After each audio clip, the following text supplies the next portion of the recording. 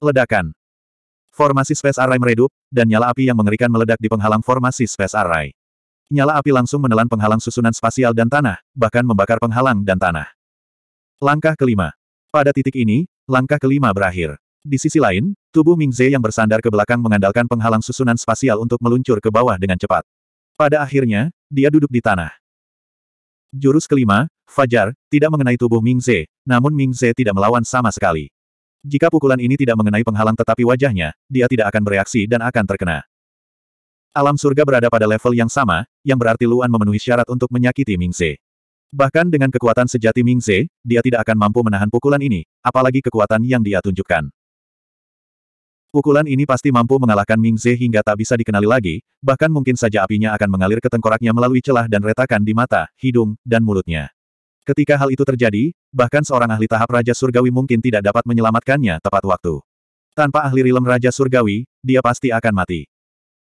Terlebih lagi, meskipun pukulan Daibreak menghasilkan suara dan kekuatan yang begitu keras, namun tidak langsung membangunkan Mingze.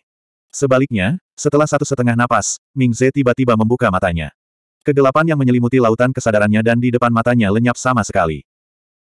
Mingze duduk dari tanah karena terkejut, tapi Luan sudah mundur tiga meter dan tidak menyerang lagi. Waktu satu setengah napas sudah cukup bagi ahli alam surga mana pun untuk membunuh Mingze, apalagi Luan. Tubuh Mingze bergetar hebat. Dia dengan panik mengerahkan kekuatannya untuk bertahan dan menyerang, tetapi ketika dia melihat lautan api di atas kepalanya dan di sekelilingnya, dia langsung terpana. Dia segera membeku di tempatnya dan berhenti mengerahkan kekuatan di tubuhnya. Ini karena, dia tidak tahu bagaimana api ini terbentuk. Namun, dia sangat jelas bahwa Luan punya cukup waktu untuk melepaskan lautan api untuk membunuhnya. Mingze menarik napas dalam-dalam dan menyebarkan seluruh kekuatannya. Dia menangkupkan tangannya ke arah Luan dan berkata dengan suara berat, terima kasih atas bimbinganmu. Aku kalah. Saat dia mengatakan itu, dunia menjadi sunyi. Bahkan angin kencang telah hilang. Semua orang di luar susunan spasial menyaksikan pemandangan ini dengan tenang. Kebanyakan dari mereka bahkan tidak punya waktu untuk terkejut. Benar sekali, itu terlalu cepat. Kurang dari dua napas yang lalu, mereka masih memikirkan apakah Luan akan memenangkan pertempuran ini, tetapi dalam sekejap, Ming Ze telah jatuh, seolah-olah dia tidak memiliki kemampuan untuk melawan sama sekali. Luan menang begitu saja, tanpa susah payah, seolah-olah kemenangan tidak layak untuk disebutkan. Setelah mendengar lawannya mengaku kalah, Luan sangat menghormati lawannya. Dia menangkupkan tangannya dan berkata, terima kasih telah mengizinkanku menang. Setelah itu, keduanya tidak bertahan lama dalam susunan spasial. Pertarungan ini tidak memerlukan panduan apa pun, jadi keduanya meninggalkan susunan spasial. Setelah terbang keluar dari susunan luar angkasa, sosok Ming Ze langsung menghilang. Pada saat yang sama, dia muncul kembali di antara suku Yansing, di belakang utusan Sage Yansing. Utusan suci. Suara Mingze terdengar berat dan mencela diri sendiri. Saya telah mempermalukan ras saya. Melihat penampilan Mingze yang berat dan bahkan tertekan, utusan suci Yansing merasa sangat tidak berdaya dan tertekan. Mingze tidak bodoh. Dia tahu bahwa Luan baru saja menggunakan kemampuannya yang sebenarnya untuk bertarung dengannya. Namun, saat lawannya menggunakan kekuatan aslinya, dia dikalahkan hanya dalam lima gerakan. Faktanya, luka Luan belum juga sembuh. Ki dan darahnya hanya sedikit tenang, dan dia masih berhasil menang dalam lima gerakan dengan tubuhnya yang terluka parah. Pukulan seperti itu terlalu berat. Tapi, jika itu orang lain, apa yang bisa mereka lakukan? Serangan barusan tampak sederhana, tetapi hanya dalam lima gerakan, Luan menggunakan pertarungan psikologis dan serangan kesadaran spiritual secara ekstrim. Bahkan guru abadi, permaisuri abadi, dan utusan suci Yansing tidak dapat memikirkan langkah yang lebih sempurna. Satu demi satu gerakan, itu bisa disebut serangan pengajaran yang sempurna. Pada gerakan pertama, dia berinisiatif membuka lengan Ming Ze dan menjauhkannya dari tubuhnya. Pada gerakan kedua, dia melepaskan es, memaksa tangan kanan Ming Ze menghindar. Jadi, tangan kiri Luan mendapat keuntungan dalam melakukan gerakan pertama, menyebabkan tangan kanan Ming Ze kehilangan efeknya dalam waktu yang sangat singkat. Pada saat yang sama, karena alasan psikologis, Ming Ze harus menggunakan tangan kirinya untuk mendorong tangan kanan Luan menjauh, sejauh mungkin dari kepalanya. Pada gerakan ketiga, dia menggunakan tangan kirinya untuk memegang belati es yang mendalam dan menebaskannya ke mata Mingse. Yang terpenting adalah langkah ketiga ini, bisa disebut keajaiban. Jika tidak melihat hasilnya, sebenarnya ada banyak cara untuk menyerang pada langkah ketiga. Tangan kirinya yang bebas mampu menusuk tubuh Mingse.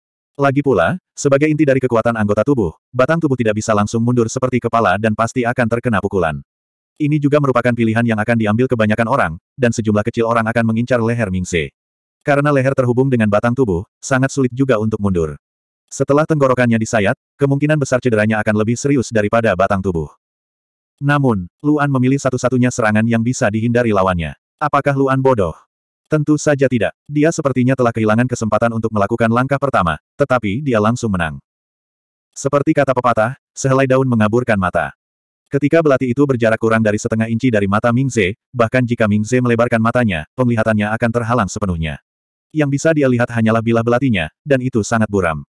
Karena kecepatan pedangnya terlalu cepat, Mingze masih memperhatikan gerakan Luan. Mustahil baginya untuk segera fokus pada pedang yang berada begitu dekat dengan matanya. Belum lagi Ming Ze ingin memejamkan mata karena takut dan gugup. Oleh karena itu, ia berusaha keras untuk membuka matanya, namun kenyataannya, ia hanya berhasil membuka separuh matanya. Tak hanya itu, belati misterius itu berjarak kurang dari setengah inci dari matanya. Itu terlalu dekat. Udara dingin yang dikeluarkan oleh Deep Ice langsung menyerang matanya, dan matanya tidak memiliki kemampuan bertahan. Udara dingin seakan langsung membekukan matanya. Rasa dingin langsung menjalar ke dahi, hidung, dan sudut kiri dan kanan matanya. Lebih penting lagi, hawa dingin langsung menyerang kedalaman matanya dan mempengaruhi lautan kesadarannya. Dengan kata lain, penglihatan Ming Ze kabur dan dia kehilangan kemampuan untuk fokus. Pada saat yang sama, hawa dingin merusak mata dan lautan kesadarannya. Namun bila ginseng misterius itu hanya melewati matanya sesaat. Untuk menangkap keadaan pertempuran dengan cepat, dia tidak punya pilihan selain melebarkan matanya lebih jauh dan menerima semua informasi dari dunia luar. Lautan kesadaran yang terluka menerima semua informasi dari dunia luar. Itu setara dengan membuka pintu rumah dengan tembok rusak dan menerima segala sesuatu dari dunia luar tanpa pertahanan apa pun. Dan apa yang diterima Ming Ze bukanlah informasi berguna, tapi serangan indera ketuhanan Luan. Pintunya terbuka lebar, dan serangan indera ketuhanan Luan tidak terhalang. Bahkan mengambil inisiatif untuk memasuki lautan kesadaran, menyebabkan Ming Ze langsung terjerumus ke dalam perangkap. Dia sangat terperangkap dalam serangan dan ilusi indera ketuhanan Luan, tenggelam ke dalam jurang gelap dan tidak mampu melepaskan dirinya. Jika pukulan Daibreak tidak meledak di belakang telinga Mingze dan menyebabkan dampak besar pada lautan kesadaran Mingze, Mingze mungkin tidak akan bisa melepaskan diri dari kegelapan. Dan waktu untuk mematahkan ilusi juga karena kemampuan indera ilahi Mingze berada di puncak tingkat surga. Totalnya ada lima gerakan, namun kenyataannya, tidak menjadi masalah jika menganggapnya sebagai tiga gerakan. Dari awal hingga akhir, semuanya dilakukan sekaligus. Seolah-olah semuanya sesuai rencana Luan. Mingze tidak hanya kalah, tapi dia juga kalah total. Dia tidak memiliki kesempatan sedikit pun. Hasil seperti ini bahkan lebih sulit diterima daripada kekalahan telak. Itu sangat kejam. Di langit dan bumi, para ahli tingkat surga yang tidak bisa melihat gerakan Luan dipenuhi dengan kebingungan dan keterkejutan. Para ahli tingkat surga yang bisa melihat semua gerakan bahkan lebih terkejut. Karena sejak Mingze jatuh ke tanah, mereka tahu bahwa Luan pasti telah melancarkan serangan indera ketuhanan, dan saat Luan menggunakan serangan indera ketuhanan, belati itu pasti telah menebas di depan mata mereka. Jadi, semakin banyak ahli tingkat surga memikirkan detailnya, semakin terkejut mereka. Dalam aliansi sekte, Wang Yangcheng mengepalkan tinjunya dan melihat pemandangan itu dengan penuh semangat. Akhirnya, dalam dua pertarungan tersebut, dia melihat penampilan Luan yang benar-benar berusaha sekuat tenaga. Luar biasa. Ini adalah Luan yang pernah bertarung dengannya sebelumnya. Chen Kuang, Fan Yanche, dan Liang Han tercengang. Setelah sekian lama, mereka menarik napas dalam-dalam dan berbicara ketika dunia menjadi sangat bising. Suara Liang Han sangat berat saat dia berkata, sekarang aku tahu mengapa pemimpin sekte sangat memuji Luan setelah pertarungan dengannya. Meski hanya lima jurus, itu sudah cukup membuat orang minder. Bahkan hal itu belum pernah terjadi sebelumnya. Kata-kata Liang Han membuat dua orang lainnya mengangguk. Fan Yanche berkata, meskipun hanya ada lima gerakan, itu seratus kali lebih seru daripada gabungan semua pertarungan sebelumnya. Mendengar evaluasi ketiga orang tersebut, Wang Yangcheng juga mengungkapkan senyuman bahagia. Dia awalnya adalah seseorang yang tidak bisa menyembunyikan sesuatu. Setelah pertempuran, Luan tidak mengizinkannya berbicara tentang proses pertempuran tersebut. Pada saat itu, Luan menggunakan es hitam, luar angkasa, dan banyak kekuatan lainnya, yang membuat Wang Yangcheng sangat tertahan. Terutama ketika seseorang mempertanyakan kekuatan Luan, dia selalu ingin berbicara tentang keganasan dan keajaiban pertempuran. Sekarang Luan mengambil inisiatif untuk membuat semua orang melihat kekuatannya, Wang Yangcheng, yang telah terlalu lama tertahan, bahkan menghela nafas panjang dan merasa sangat nyaman. Yang kuat harus dilihat oleh semua orang. 3652 Setelah Luan meninggalkan formasi susunan spasial, dia tidak terbang. Sebaliknya, dia berdiri di tepi formasi susunan seperti sebelumnya. Namun, setelah bertukar pukulan dengan orang-orang dari Sengoku dan orang-orang dari klan bintang menyebar, Luan tidak ingin tinggal di sini lebih lama lagi. Terlepas dari apakah teknik abadi King yang kuat atau kekuatan spasial Ming Ze yang dapat menembus pertahanan fisiknya, dia ingin segera kembali untuk memikirkan bagaimana mereka berdua melakukannya. Meski belum lama dia memberikan petunjuk, empat pertempuran telah berlalu. Yang lebih baik lagi adalah dia terluka. Oleh karena itu, dia punya alasan untuk pergi. Saat dia melihat diskusi yang riuh, peluit, dan sorak-sorai di udara, hati Luan sama sekali tidak berminat untuk merayakan orang-orang ini. Bagi Luan, memenangkan pertarungan di level yang sama adalah hal yang biasa. Tidak ada hal yang membahagiakan. Setelah menunggu beberapa saat, Luan berbicara dengan sangat cepat. Suaranya sangat jelas ketika dia berkata kepada semua orang, saya terluka. Petunjuk hari ini akan berakhir di sini. Terima kasih atas perhatian Anda. Setelah mengatakan itu, Luan tidak memberikan kesempatan kepada siapa pun untuk memintanya tinggal. Dia segera terbang ke sisi ketujuh wanita itu. Suami. Suami. Ketujuh wanita itu jelas sangat berhati-hati dengan luka Luan. Namun, Luan tersenyum pada ketujuh wanita itu dan berkata, jangan khawatir. Saya baik-baik saja. Ayo kembali dan bicara. Tentu saja, ketujuh wanita itu tidak akan menentang keinginan Luan. Segera, Luan dan ketujuh wanita itu pergi dari tengah kerumunan. Segera, mereka menghilang dari pandangan semua orang dan binatang mistis. Setelah Luan pergi, tidak ada gunanya tinggal di sini lebih lama lagi. Sebagian besar manusia dan makhluk mistis segera berpencar dan kembali ke tempat asalnya. Namun, meski mereka pergi, diskusi tentang dua pertarungan tersebut pasti tidak akan berakhir. Sebaliknya, perbincangan mengenai kedua pertarungan tersebut berlangsung lama. Itu bukanlah sesuatu yang bisa diselesaikan dalam satu atau dua hari. Ada juga sejumlah kecil orang yang tidak berangkat. Beberapa dari mereka awalnya berkultivasi di sana, dan beberapa dari mereka ingin melihat apakah Luan akan kembali. Anggota aliansi surgawi tidak pergi. Bagaimanapun, ini adalah tempat budidaya mereka. Semua orang berkumpul untuk mendiskusikan pertempuran yang baru saja terjadi, termasuk Li Tang dan Yun Bing.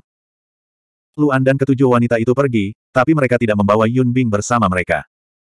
Yun Bing berada di kam aliansi manusia surga, dan pertarungannya dengan kera bersenjata merah sangat mengejutkan, jadi semua orang memperlakukan Yun Bing dengan sangat hormat. Apalagi Yun Bing adalah wanita yang cantik dan anggun. Tentu saja, semua orang lebih menyukai Yun Bing dan berinisiatif untuk menarik Yun Bing ke dalam diskusi. Hampir semua orang di Celestial Alliance pandai dalam pertarungan jarak dekat. Setelah berdiskusi, Su He tiba-tiba bertanya kepada Yun Bing, Nona Yun, kamu sangat kuat. Apa pendapatmu tentang pertarungan Master Aliansi barusan? Segera, semua orang melihat ke arah Yun Bing. Yun Bing sedikit terkejut dengan pertanyaan tiba-tiba itu, tapi dia tidak mengalami demam panggung.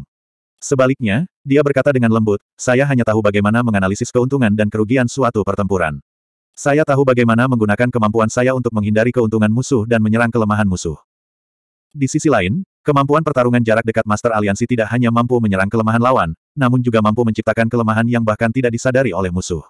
Selain itu, setiap kali Master Aliansi menyerang, dia dapat memikirkan banyak perubahan pada gerakan berikut. Dengan kemampuan beradaptasi dan kemampuan perhitungan Divine Sense seperti itu, saya tidak bisa memberikan pendapat apa pun. Yun Bing mengatakan kebenaran dari lubuk hatinya. Semua orang tahu prinsip memanfaatkan kekuatan dan menghindari kelemahan. Namun, apakah seseorang dapat menggunakan prinsip ini dalam pertempuran dan sejauh mana prinsip ini dapat membuat perbedaan besar? Yun Bing adalah seseorang yang memanfaatkannya dengan sangat baik, tapi betapapun bagusnya dia, dia tidak bisa dibandingkan dengan seseorang yang berinisiatif menciptakan peluang. Inilah perbedaan mendasar. Mendengar perkataan Yun Bing, semua orang mengangguk. Faktanya, mereka semua memiliki perasaan yang sama. Setelah menyaksikan pertarungan Luan, mereka memang telah belajar cara mengaburkan mata lawan dan selanjutnya menyerang Divine Sense musuh. Namun, sangat sulit bagi mereka untuk menciptakan peluang ini. Sekarang, semua orang tahu bahwa metode ini tidak ada gunanya. Tidak, Spirit Rache tidak tahu bahwa itu bisa digunakan dalam pertempuran. Namun, mereka sangat jelas bahwa mereka tidak belajar bagaimana menciptakan peluang sama sekali karena segala sesuatu dalam pertempuran berubah dengan cepat. Apa yang mereka pelajari hanyalah gerakan tetap yang pernah digunakan Luan sebelumnya, dan itu saja. Tanda pisah tanda pisah tanda pisah. Tanda pisah tanda pisah tanda pisah. Aliansi Tripartit, Pavilion Markas Ice Fire Alliance. Setelah Luan dan ketujuh wanita itu kembali, Yao segera merawat luka Luan. Cedera Luan sangat serius. Saat Yao merawat Luan, dia menyadari bahwa lukanya sangat serius bahkan matanya pun sakit. Sebenarnya Luan bisa mengobati dirinya sendiri, tapi dia tahu jika dia tidak membiarkan istrinya merawatnya, istrinya akan lebih khawatir.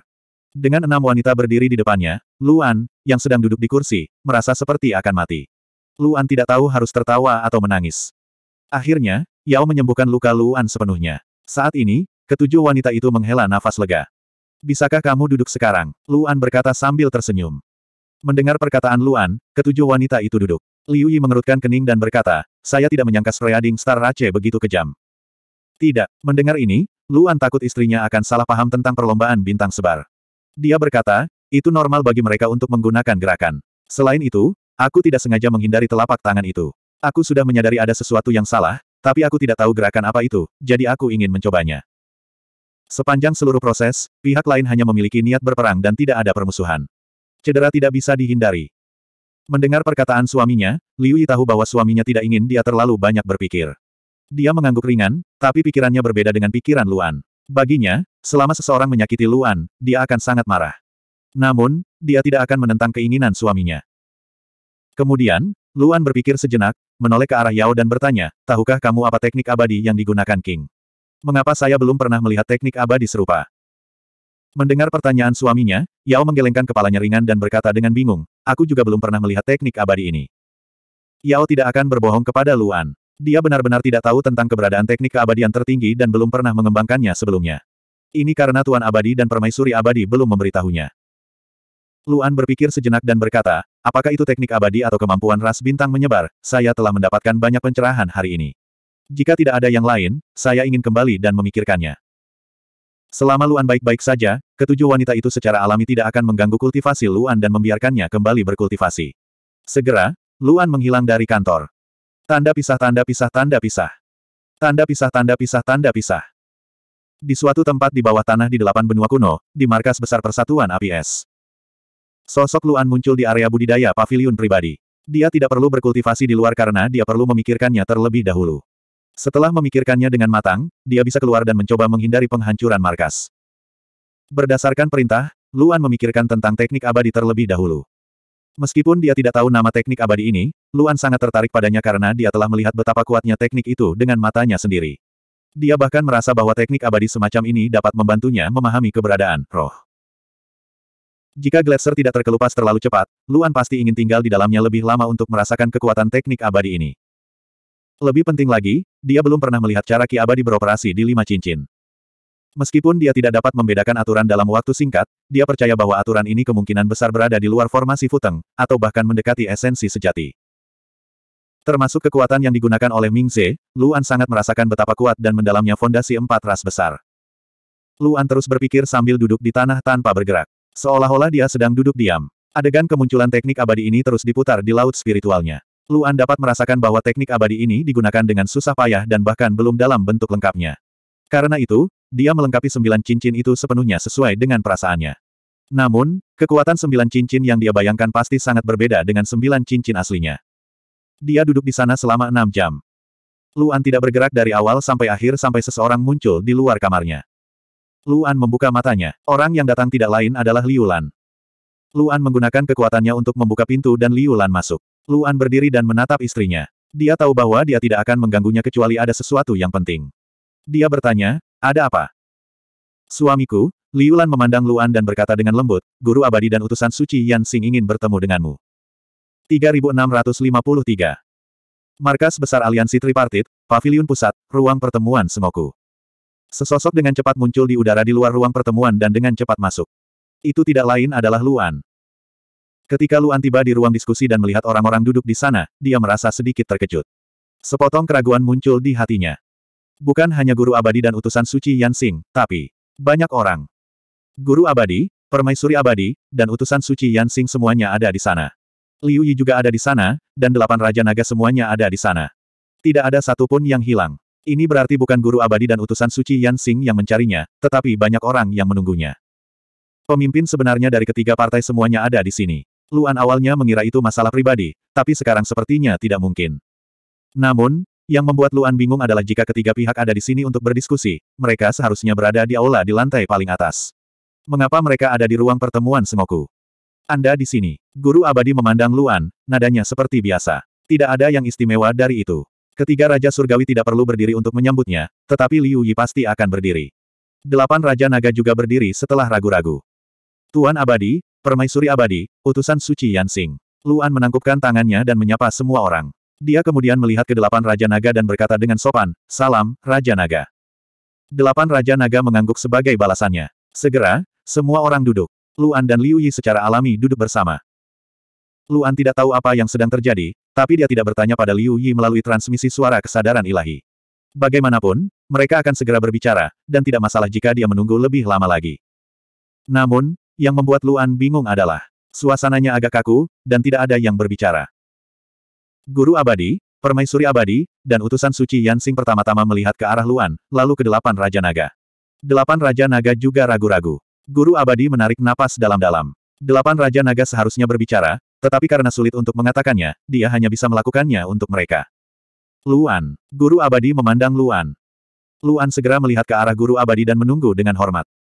Sebenarnya, ini sangat sederhana. Guru abadi berkata, delapan Raja Naga ingin tahu. Apakah kamu sudah mengumpulkan semua tulang naga raja di tubuhmu? Begitu dia mengatakan ini, hati Luan bergetar. Bahkan mata gelapnya beriak. Setelah itu, Luan langsung memikirkan sesuatu.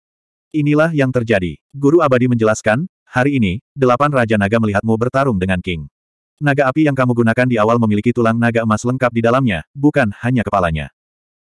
Karena itu, dan karena Anda mengatakan bahwa Anda memiliki informasi tentang tiga tulang kaisar naga lainnya, delapan Raja Naga ingin tahu apakah Anda telah mengumpulkan semuanya dan menyerapnya ke dalam tubuh Anda. Cukup benar. Luan bahkan ingin menamparkan dirinya sendiri. Bagaimana dia bisa membuat kesalahan tingkat rendah seperti itu? Dia sudah terbiasa menggunakannya sehingga dia bahkan tidak berpikir untuk menggunakannya dalam pertempuran ini. Dia benar-benar lupa bahwa para naga sedang menyaksikan pertempuran. Luan mengerutkan kening saat dia melihat ke arah guru abadi, permaisuri abadi, dan duta besar suci Yansing. Dia kemudian berbalik untuk melihat ke delapan Raja Naga. Dia akhirnya tahu kenapa mereka tiba-tiba mencarinya. Kedelapan Raja Naga sedang melihat ke arah Luan. Sejak guru abadi berbicara, delapan Raja Naga tidak lagi ragu-ragu. Delapan Raja Naga terkuat membuka mulut mereka dan berkata kepada Luan dengan nada tenang, kami ingin jawaban. Sudahkah kamu menyerap keempat bagian tulang Kaisar Naga? Kalau memang sudah menyerap semuanya, itu tidak sejalan dengan kesepakatan yang kita buat. Kami harap Anda dapat memberi kami penjelasan yang masuk akal. Luan mengerutkan kening saat dia melihat ke delapan Raja Naga. Untuk sesaat, dia masih tidak berbicara. Namun, sikap Luan dengan jelas menjelaskan banyak hal. Hal ini membuat hati guru abadi, permaisuri abadi, dan duta besar suci Yan Xing terasa berat. Luan. Permaisuri abadi membuka mulutnya dan berkata dengan lembut, alasan mengapa kami membahas masalah ini di sini dan bukan di ruang konferensi adalah karena kami ingin menyelesaikan ini secara pribadi dan bukan di depan umum. Apa pun akibat dari masalah ini, hanya orang-orang di sini yang tahu. Tidak ada lagi orang yang tahu. Luan semakin mengernyit. Jika seseorang mengatakan bahwa dia pandai berkultivasi dan berkelahi, dan pandai membuat rencana, pemahamannya tentang politik sangatlah biasa. Dia tidak tahu apakah dia harus mengatakannya, tapi dia memiliki seorang istri yang sangat pandai dalam membuat rencana. Tentu saja, dia menoleh untuk melihat Liu Yi. Luan memandang Liu Yi. Liu Yi juga sedang melihat Luan. Dia berkata dengan lembut, suamiku, tidak ada salahnya mengatakannya. Dengan pentingnya dirimu dalam perang, dan pentingnya Gunung Dewa Langit dan Suku Roh, tidak peduli apa yang terjadi, tidak ada yang berani menyentuhmu. Begitu kata-kata ini diucapkan, langsung menyebabkan hati semua orang yang hadir bergetar. Tiga Raja Surgawi dan delapan Raja Naga semuanya memandang Liu Yi. Mereka sangat terkejut dan sangat berat. Rencana terang-terangan. Sebenarnya logika ini sangat sederhana. Tiga Raja Surgawi dan delapan Raja Naga sangat jelas tentang hal itu. Jika tidak, mereka pasti akan melaporkannya secara terbuka dan tidak akan menyelesaikan masalah ini secara pribadi. Namun, masalahnya adalah Liu Yi berani mengatakan ini secara langsung, daripada berbicara kepada Luan melalui Divine Sense. Hanya dengan mengatakan ini dengan lantang, dia mempunyai kebijaksanaan yang sangat berbeda. Ketika segala sesuatunya terbuka, sering kali lebih mudah untuk berbicara dan tidak perlu menyembunyikan sesuatu. Melihat mata indah istrinya dan mendengar kata-katanya, Luan merasa lebih percaya diri di hatinya. Dia mengambil napas ringan dan menoleh untuk melihat guru abadi, permaisuri abadi, dan utusan suci Yansing. Dia kemudian melihat ke arah delapan Raja Naga dan akhirnya berkata, itu benar. Keempat tulang naga sudah ada di tubuhku. Saat dia mengatakan itu, tubuh delapan Raja Naga bergetar hebat. Mereka tidak bisa menyembunyikan keterkejutan di wajah mereka. Bahkan Raja Naga Langit terbakar segera berdiri.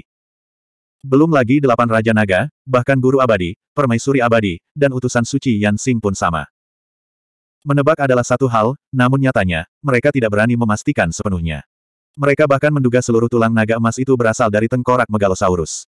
Bagaimanapun, tulang naga emas bukanlah Megalosaurus asli, itu hanya sebuah gambar. Tapi sekarang Luan secara pribadi mengakuinya, bahkan tiga Raja Surgawi pun merasa sangat terkejut. Seluruh tubuh mereka bahkan mati rasa. Kita harus tahu bahwa Kaisar Megalosaurus adalah tokoh dikdaya panggung Raja Surgawi, dan tokoh dikdaya panggung Raja Surgawi yang sejati. Dibandingkan dengan Kaisar Megalosaurus terakhir, ketiganya sangat berbeda. Kenapa kamu mengambil semuanya? Raja Naga Langit Pembakaran yang pemarah tidak tahan lagi. Dia segera berteriak pada Luan, bukankah kamu mengatakan bahwa tiga tulang naga lainnya tidak akan digunakan? Kamu berani menipu naga. Membakar surga. Raja Naga Kuning meraung dengan marah. Aura Raja Naga Langit terbakar sudah sangat tidak stabil. Jika bukan karena penindasan terhadap Raja Naga di sekitarnya, seluruh ruangan akan tersapu. Raja Naga lainnya juga secara alami marah. Tapi seperti yang dikatakan Liu Yi, status Luan hari ini tidak lagi sama seperti sebelumnya. Gunung Dewa Langit sangat menghargai Luan sehingga meskipun para naga diberi seratus nyali, mereka tidak akan berani memprovokasi Gunung Dewa Langit. Jika tidak, naga yang telah diwariskan selama seratus juta tahun kemungkinan besar akan benar-benar hancur. Kekuatan alam Dewa Surga bukanlah sesuatu yang dapat dibayangkan oleh pembangkit tenaga listrik alam surga ini. Terlebih lagi, hubungan antara Luan dan klan Kang semakin mereda. Ini bukan lagi rahasia. Klan Hachiko melindungi Luan, dan para naga juga tidak berani memprovokasi klan Hachiko. Selain itu, tiga Raja Surgawi juga hadir. Tidak peduli apa pun, Tuan Abadi, Permaisuri Abadi, dan utusan suci Yan Xing tidak dapat membuat mereka melakukan apa pun. Tidak ada gunanya marah. Lebih baik duduk dan berbicara. Meskipun delapan Raja Naga marah, selain Raja Naga Langit terbakar, tidak ada satupun dari mereka yang ceroboh atau kekanak-kanakan. Raja Naga di sekitarnya dengan paksa menekan Raja Naga Langit terbakar dan menyuruhnya duduk. Setelah menaklukkan Raja Naga Langit terbakar, semua Raja Naga memandang Luan, dan delapan Raja Naga berbicara lagi. Kami membutuhkan penjelasan. Kedelapan Raja Naga berkata dengan suara berat, hari itu ketika kita bertiga bergabung, saya tegaskan kembali bahwa Anda tidak diperbolehkan menyentuh tiga tulang naga lainnya selama pertemuan. Anda juga setuju di depan Guru Abadi. Sekarang Guru Abadi ada di sini, saya memerlukan penjelasan. Mengapa kamu menyerap tiga tulang naga lainnya? Hati Guru Abadi sangat berat. Benar sekali, delapan Raja Naga memang menyebutkan hal ini selama pertemuan. Dia bisa dianggap sebagai saksi. Saat ini, dia memiliki tanggung jawab dan kewajiban untuk memimpin keadilan masalah ini. Namun, jika Luan tidak bisa memberikan penjelasan yang memuaskan kepada delapan Raja Naga, bahkan dia tidak tahu bagaimana cara menghukum Luan. Menghadapi keraguan delapan Raja Naga, ekspresi Luan malah menjadi tenang. Karena dia sudah mengatakan yang sebenarnya, tidak perlu menyembunyikan fakta lainnya. Luan membuka mulutnya, tapi tidak menjawab. Sebaliknya, dia bertanya kepada delapan Raja Naga, kapan kamu pertama kali mengetahui bahwa aku memiliki Kaisar Tulang Naga? Dan bagaimana Anda tahu Kaisar Tulang Naga yang saya miliki? Mendengar kata-kata Luan, delapan Raja Naga semuanya mengerutkan kening. Raja Naga Langit Pembakaran yang pemarah segera membuka mulutnya dan meraung. Tentu saja, saat itulah auman naga muncul di wilayah samudera paling selatan. Anda memperoleh tengkorak Kaisar Megalosaurus, apakah perlu bertanya? Menghadapi teguran itu, Luan masih sangat tenang, dan berkata, bagaimana jika ku bilang? Tengkorak ini adalah tulang naga terakhir yang kudapat. 3654. Begitu dia mengatakan itu, delapan Raja Naga gemetar. Bahkan Guru Abadi, Permaisuri Abadi, dan utusan suci Yan Xing juga sama. Mereka bertiga membelalak karena jawaban Luan jauh di luar dugaan mereka. Tengkoraknya adalah tulang naga terakhir. Bagaimana mungkin? Pada saat itu, semua alasan yang dipikirkan oleh delapan Raja Naga tidak ada gunanya. Semua keraguan dan pertanyaan yang mereka miliki terhadap Luan tidak ada gunanya karena mereka tidak pernah memikirkan kemungkinan seperti itu. Aku telah berbohong kepada kalian semua sejak awal.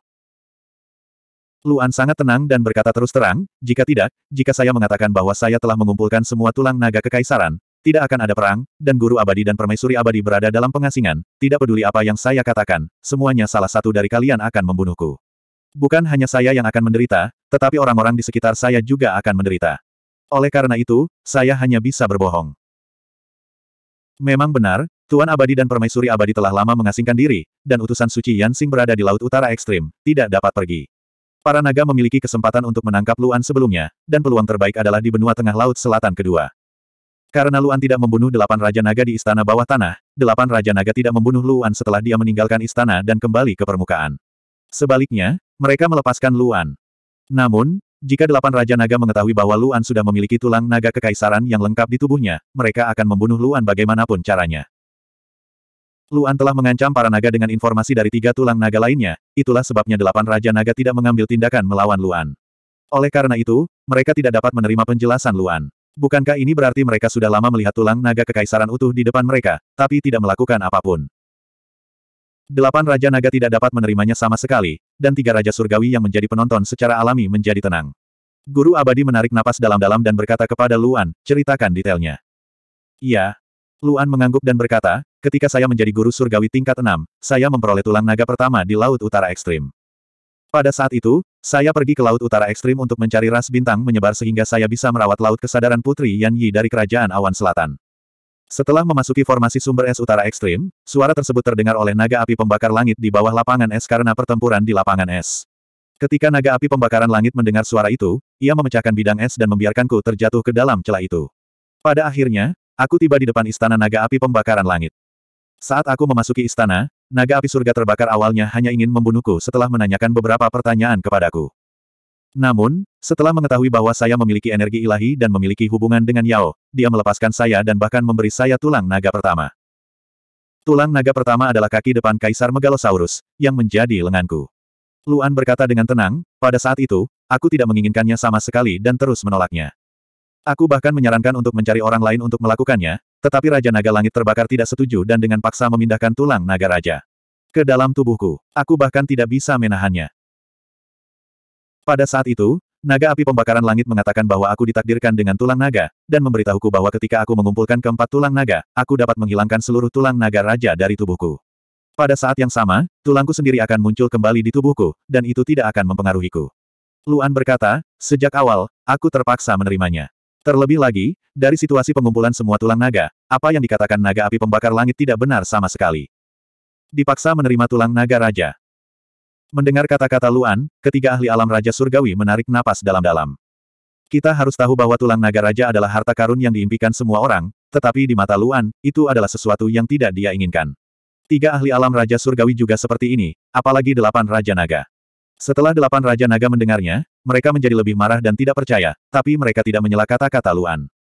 Bahkan Raja Naga Langit Terbakar yang ingin berbicara tidak mengatakan apa-apa, karena Luan sedang berbicara tentang naga api pembakaran langit. Sudah berapa lama sejak aku memasuki tingkat ketujuh guru surgawi? Aku memperoleh tulang naga raja kedua di tiga lautan utara. Itu adalah tulang punggung tulang naga raja yang diberikan oleh naga astral robek surga kepadaku. Luan melanjutkan, setelah saya mendapatkan tulang naga pertama, saya mulai menanyakan tentang tulang naga di mana-mana, karena saya ingin mengeluarkan tulang naga raja dari tubuh saya secepat mungkin. Saat itu, saya mendapat kabar bahwa sebuah istana khusus telah ditemukan di laut dalam tiga laut utara. Bagian dalam dan luar istana diukir dengan gambar megalosaurus, jadi saya pergi ke sana. Pada saat itu, ada banyak guru surgawi laut dalam yang menemukan sebuah istana bersama-sama, tetapi tidak ada yang bisa mendekatinya karena ada banyak mekanisme di dalamnya. Setelah itu, saya masuk dan bertemu dengan naga astral robek surga. Itu memberi saya tulang belakangnya dan menjadi kerangka tubuh saya. Ketika saya juga seorang guru surgawi tingkat ketujuh, ras harimau surgawi menemukan lokasi naga azure yang menentang surga. Saya berhasil mendapatkan tulang tungkai belakang Raja Megalosaurus, hanya menyisakan tengkorak Raja Megalosaurus. Luan berkata, setelah itu, terjadi gempa bumi di Laut Paling Selatan, dan banyak harta karun muncul di dunia. Pada akhirnya, saya menemukan tengkorak Raja Megalosaurus yang dilindungi oleh delapan naga kuning. Delapan naga kuning memberiku tengkoraknya, tetapi tulang naga raja yang lengkap belum dikeluarkan dari tubuhku. Delapan naga kuning hanya mengatakan bahwa mereka ingin aku memimpin naga untuk bangkit kembali, dan itulah kebenarannya. Setelah Luan selesai berbicara, ruangan menjadi sunyi.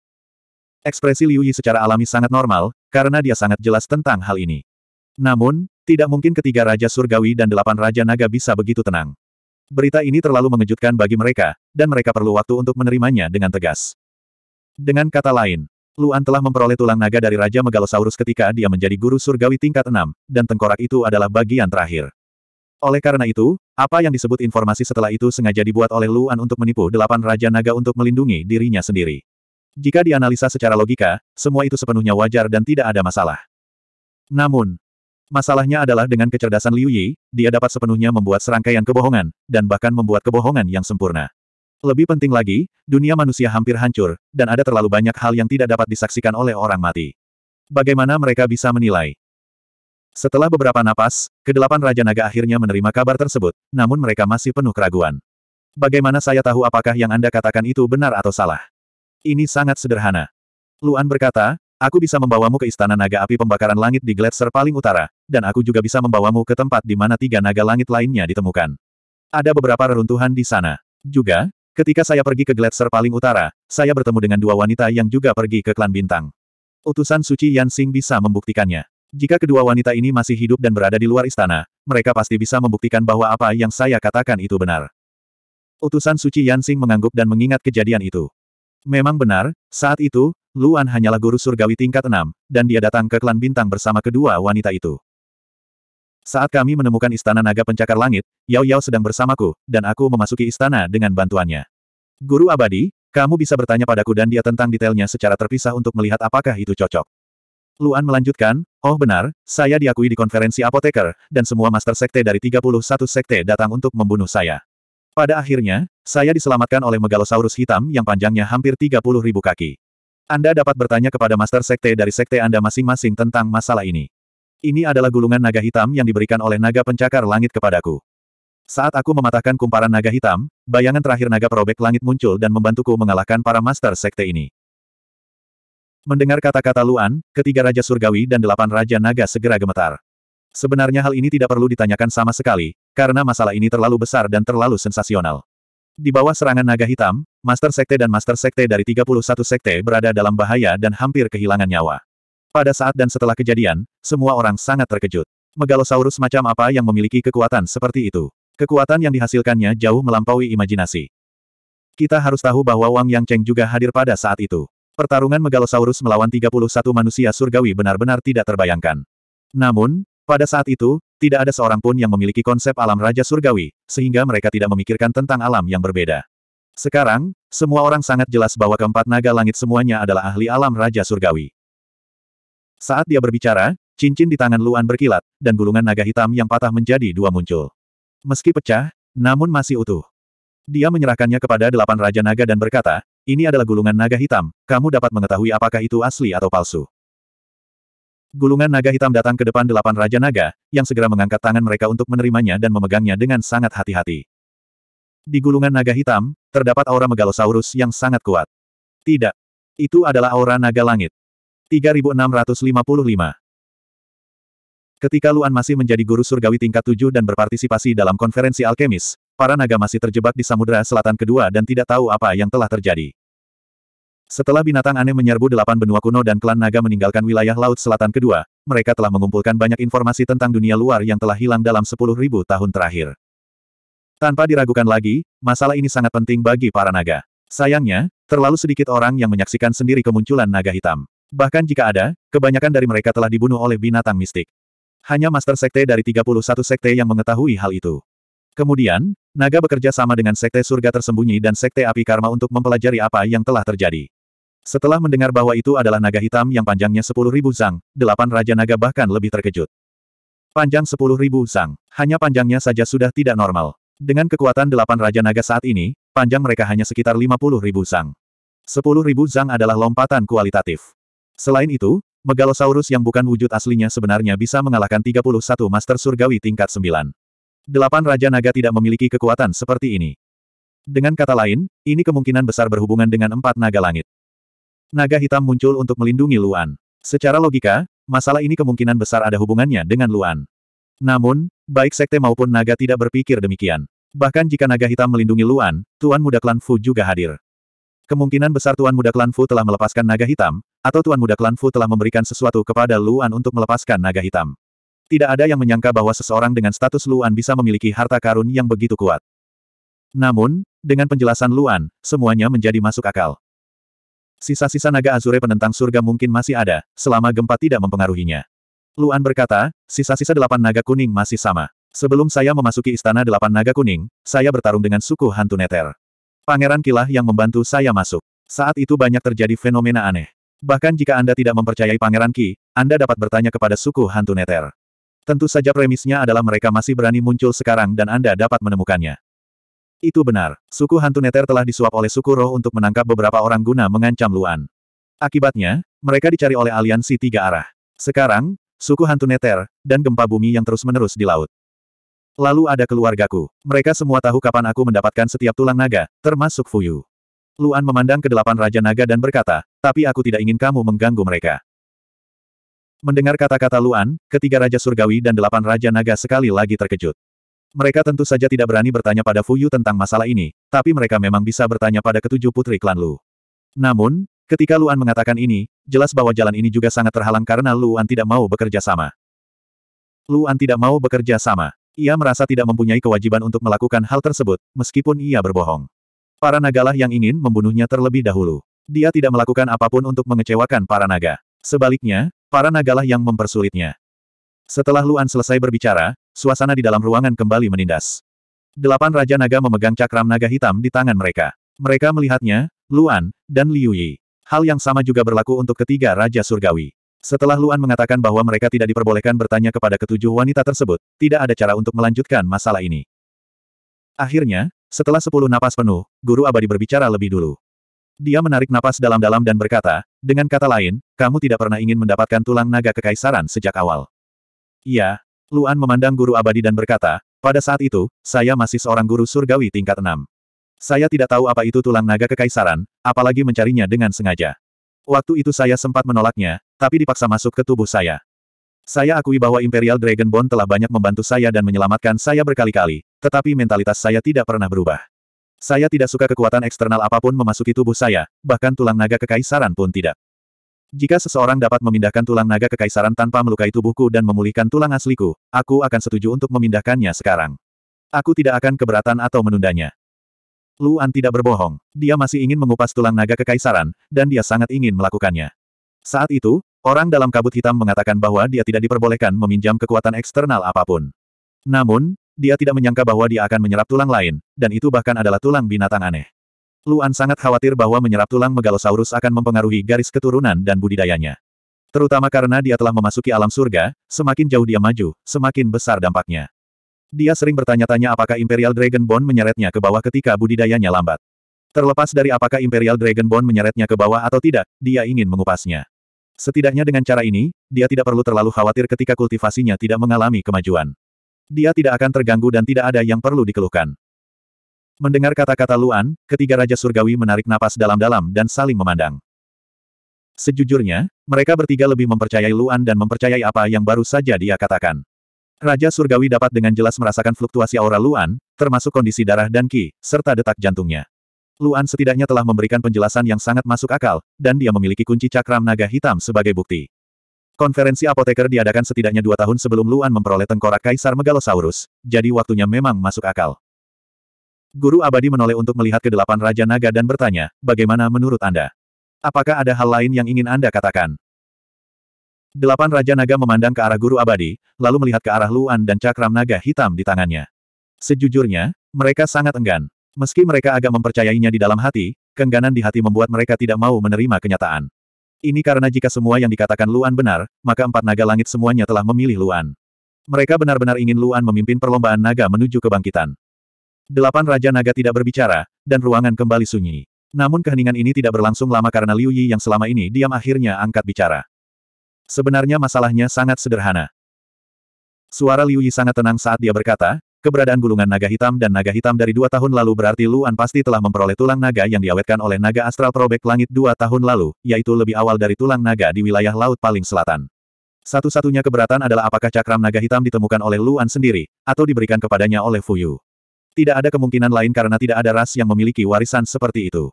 Tentu saja, kecuali Anda mencurigai Sengoku. Dengan kata-kata ini, delapan Raja Naga gemetar dan memandang ke arah guru abadi. Namun sejujurnya, mereka tidak percaya Sengoku akan melakukan hal seperti itu. Jika itu yang dikatakan Luan, maka dia tidak berbohong. Jika cakram naga hitam diberikan kepada Luan oleh Fuyu, maka itu berarti informasi dari empat naga langit, termasuk sumber daya tulang naga raja, telah ditangkap oleh Fuyu. Liu Yi berkata, saya percaya bahwa informasi tentang empat naga langit dan tulang naga raja terlalu besar untuk dapat ditemukan oleh Fu Yu saja. Itu pasti informasi dari seluruh klan Fu. Apakah menurut Anda klan Fu akan melakukannya? Memberikan harta yang begitu penting, sesuatu yang bahkan bisa dimanfaatkan oleh ahli Raja Surgawi, kepada orang luar, atau kepada Luan, yang saat itu hanya seorang guru surgawi tingkat tujuh. Setelah mendengar ini, ketiga Raja Surgawi dan delapan Raja Naga semuanya terkejut. Memang benar, jika klan Fu memperoleh tulang naga raja, tulang itu bisa diserap seluruhnya oleh ahli Raja Surgawi. Apa pun yang terjadi, mereka tidak akan memberikan hal sepenting itu kepada orang luar. Ini bukan demi kepentingan klan Fu. Mundur selangkah, bahkan jika mereka benar-benar memberikan semua tulang naga kepada Luan karena alasan yang tidak diketahui, mengapa mereka memberikan cakram naga hitam juga? Menerima tulang naga saja sudah cukup. Cakram naga hitam adalah kekuatan yang ada di antara Raja Surgawi dan alam surga. Bukankah itu terlalu berlebihan bagi Luan, yang saat itu hanya seorang guru surgawi tingkat tujuh?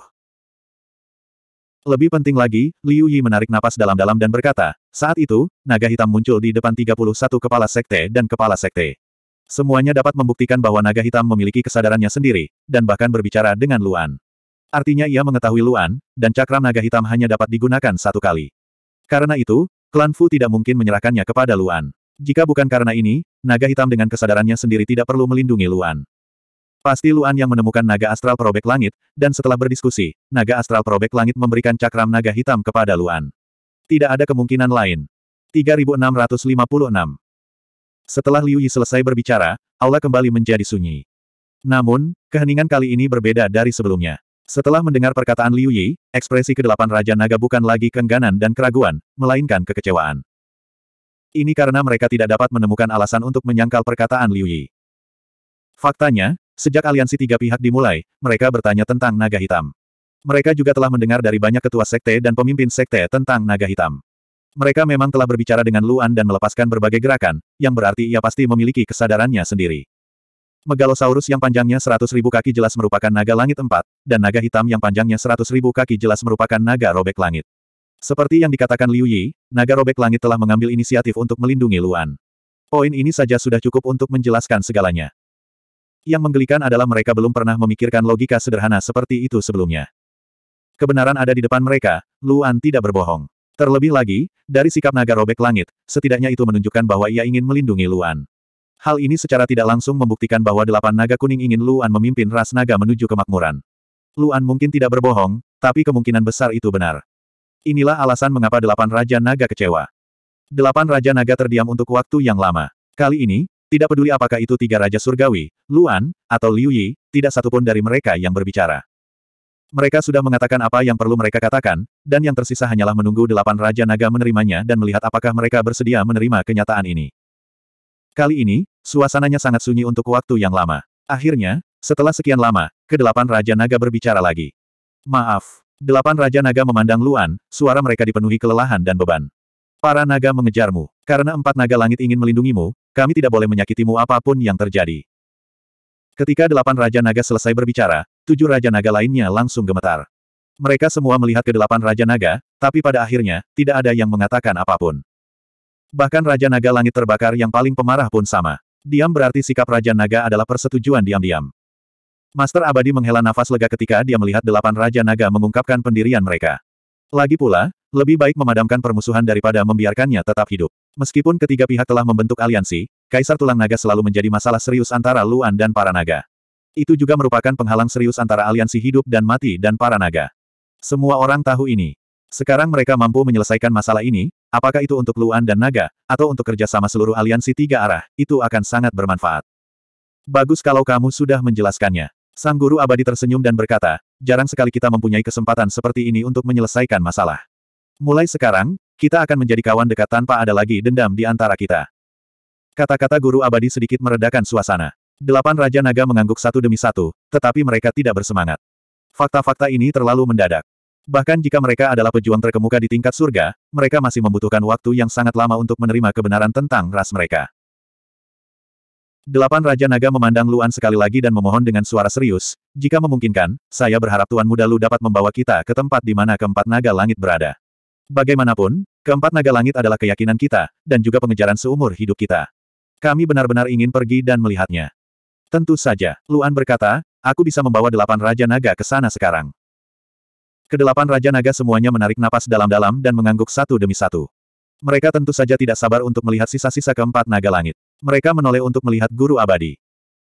Master abadi agak ragu-ragu, tetapi setelah memikirkannya, dia masih mengangguk dan berkata, baiklah, ayo pergi sekarang. Kami bertiga juga ingin pergi dan melihat-lihat. Delapan Raja Naga tidak mungkin menolak ketiga Raja Surgawi. Terlebih lagi, dengan adanya Raja Surgawi, akan lebih mudah bagi mereka untuk pergi ke mana pun. Karena semua orang ingin pergi, Luan juga tidak akan meninggalkan Liu Yi sendirian di sini. Dia berdiri bersama Liu Yi. Sebenarnya, bahkan di antara tujuh wanita klan Lu, tidak satu pun dari mereka yang pernah melihat sisa-sisa keempat naga langit. Liu Yi akan menjadi yang pertama. Ayo pergi sesuai dengan waktu aku menemukannya. Bagaimana pendapat kedelapan Raja Naga? Luan bertanya. Delapan Raja Naga mengangguk tanpa keberatan. Sementara itu, jantung Raja Naga Langit terbakar dan Raja Naga Merah berdetak kencang. Ini karena naga langit pertama yang akan mereka temui adalah pemimpin mereka, naga langit terbakar. Luan memandang utusan suci Yansing dan berkata, Utusan suci, tolong bawa kami ke wilayah Laut Utara Ekstrim. Kami akan menuju ke utara dari pusat benua dan masuk saja ke dalam formasi. Baiklah, utusan suci Yansing mengangguk dan segera melepaskan energi spasialnya, menyelimuti semua orang di aula. Lalu, semua orang langsung menghilang. Tanda pisah tanda pisah tanda pisah. Tanda pisah tanda pisah tanda pisah. Wilayah Laut Utara Ekstrim, dalam formasi. Fluktuasi spasial terjadi. Lalu, 13 sosok muncul. Mereka adalah tiga Raja Surgawi, delapan Raja Naga, Luan, dan Liu Yi. Formasi spasial memang memiliki sejumlah tekanan yang dapat menekan guru surgawi tingkat 6 menjadi guru surgawi tingkat 5. Namun, tekanan semacam ini tidak mempengaruhi manusia surgawi sama sekali. Lebih dari 4 per 5 wilayah Laut Utara Ekstrim tercakup dalam formasi tersebut. Di mata kebanyakan orang, wilayah Laut Utara Ekstrim setara dengan formasi ajaib. Ketika mereka tiba, hawa dingin segera melanda semua orang. Namun, rasa dingin seperti ini secara alami tidak akan terlalu mempengaruhi manusia surgawi. Namun, jika guru surgawi tingkat 6 yang melanggar, hal itu bisa berakibat fatal. Ini adalah kedua kalinya Luan ke sini. Ketika dia tiba, hamparan es tak berujung di kejauhan segera muncul di hadapannya.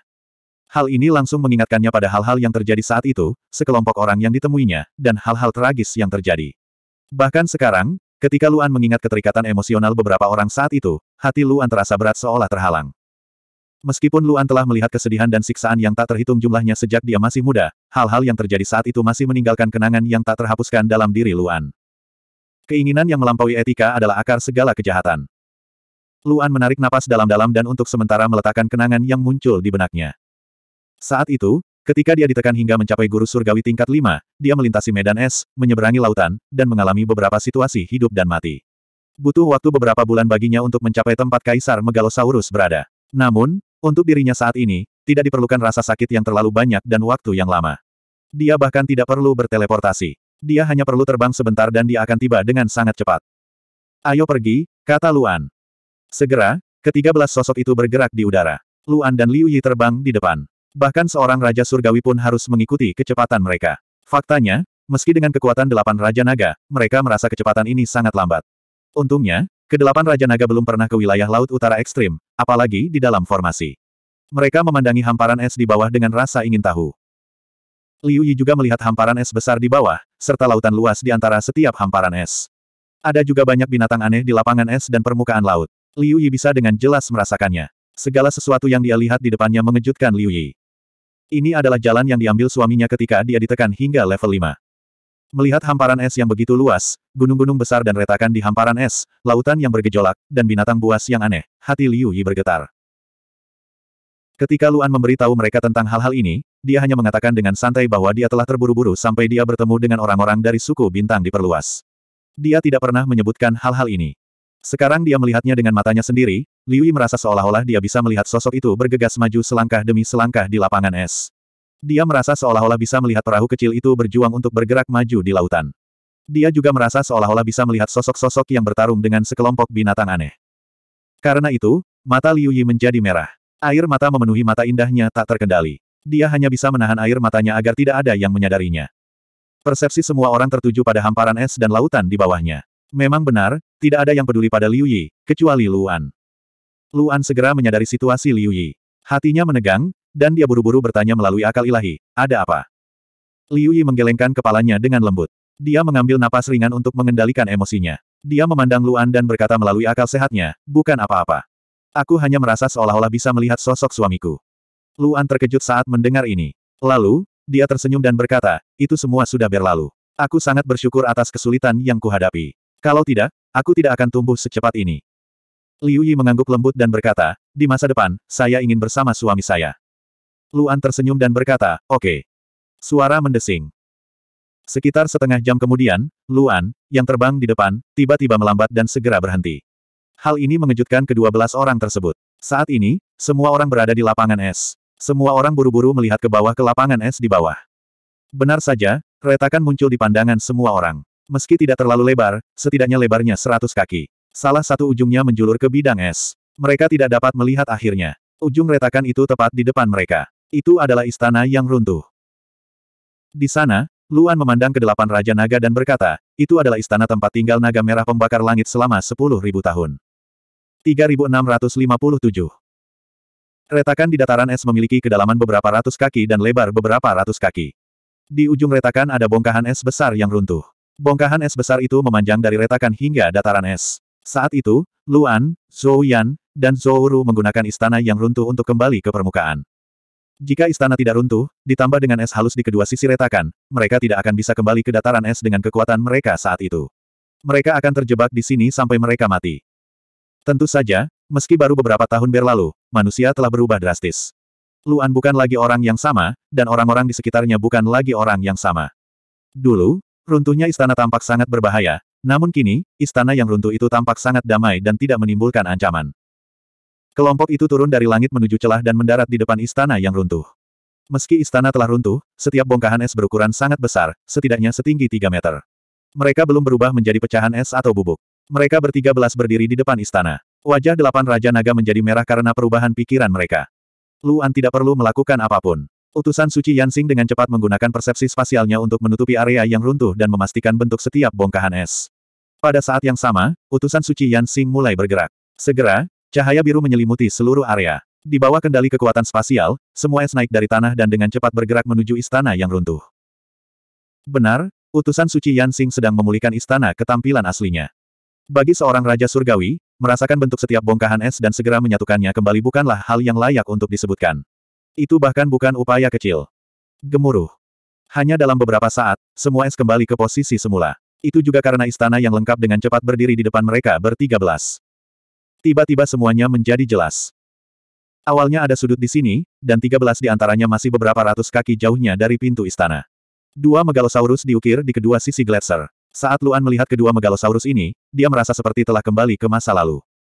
Kedua naga itu panjangnya beberapa ratus kaki. Kepala naga menghadap ke pintu istana, dan ekor naga menghadap keluar.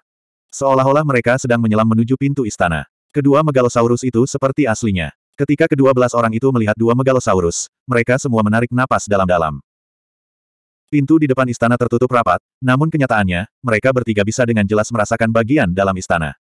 Faktanya, jika itu terjadi di masa lalu, bahkan 13 orang ini tidak akan dapat merasakan interiornya, bahkan ketiga Raja Surgawi pun tidak.